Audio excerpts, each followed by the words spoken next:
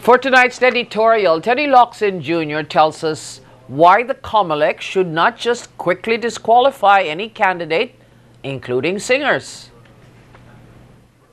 Singer Victor Wood would not be able to run for the Senate for the second time. Yahoo News reports. Would, would not, would, will, will, will. If internet news can't even get that right, it will never replace mainstream media. Anyway, the COMELEC disqualified Wood for, and I quote, failing to prove his capability to buy an election by launching a massive nationwide campaign if he runs in the 2013 senatorial race. Also, he is running independent and not with a party. Quite possibly all this is in the law. If it is, the law is unconstitutional.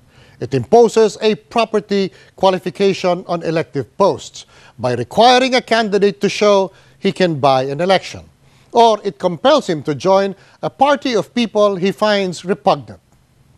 Victor Wood has never stolen a cent of public funds. Victor Wood is not a nobody. Of course, he was a singer and an actor, like Joseph Estrada, who ran for mayor, senator, vice president, president, and now for mayor again. Wood was a famous singer and a known actor. If money is needed for voter recognition, he has that already. And he did it by getting himself known for a real body of work pretty much like ERAP and FPJ. So why disqualify him? The COMELEC is sending a signal that unless you go along with the majority and the minority that totally agrees with the majority, you're not entitled to try running for elective office. It is saying that being able to buy an election is a prerequisite to winning one. Do you have to guarantee that you can buy a victory before you can be allowed to run? And how do you guarantee victory?